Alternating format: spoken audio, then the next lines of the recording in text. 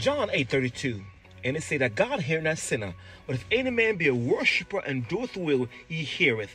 Why God have not answered your prayer? You are a sinner. What? You are a sinner. That's why God have not answered your prayer.